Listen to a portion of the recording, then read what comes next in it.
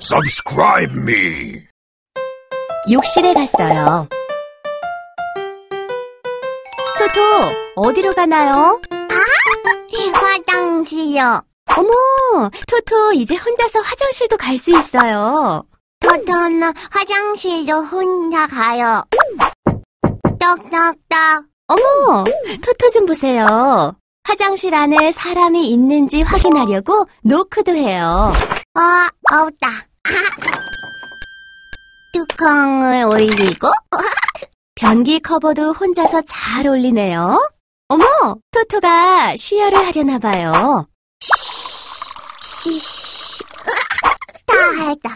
토토, 잊은 것이 있어요. 아, 물을 내려야 해. 맞아요. 물을 내려야 해요. 아, 토토, 또 잊은 거 없나요? 잊은 거? 음, 뭐지? 아, 손 씻어야 해요. 맞아요. 쉬어랑 응가를 하고 나면 항상 깨끗이 손을 씻어야 해요.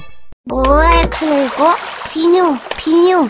네, 맞아요. 손을 적신 뒤 비누칠을 하고 깨끗이 헹궈요. 깨끗이, 깨끗이.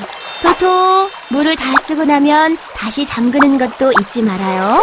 아, 물을 담은 거, 아, 다 했다.